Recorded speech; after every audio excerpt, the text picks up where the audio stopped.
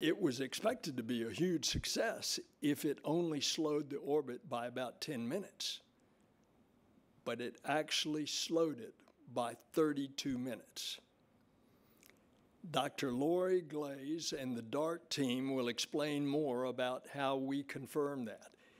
Now, this is a watershed moment for planetary defense and a watershed moment for humanity.